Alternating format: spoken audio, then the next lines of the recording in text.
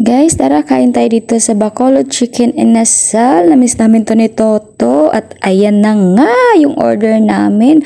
Kansi yung in-order namin kasi hindi available ang KBL. Yung KBL guys is baboy. Yung kansi is baka.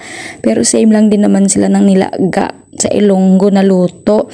Tapos ayun na nga, partneran lang namin to ng lumpiang bangos o bangos na lumpia. Medyo shala din kasi dito. Tignan nyo naman yung plain rice niya is 39 pounds.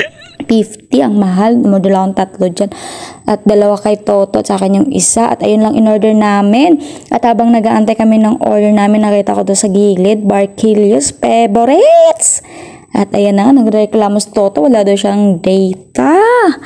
At habang inaantay yung order namin, ayan, video-video muna sa Gidli. Ayan na nga, ang pait ni Toto. Kakabiyahe.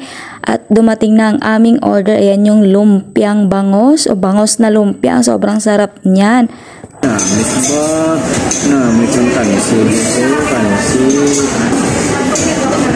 Endorsement Marquilios. Double shot. Martelios. Manamit.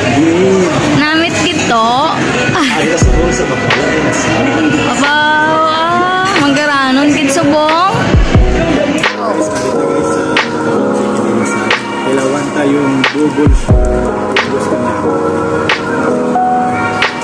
Hmm, garag mo. Wow, namit kito. Hindi ka subong to. May garag mo. Kawabi ko nagpuli ka, oh.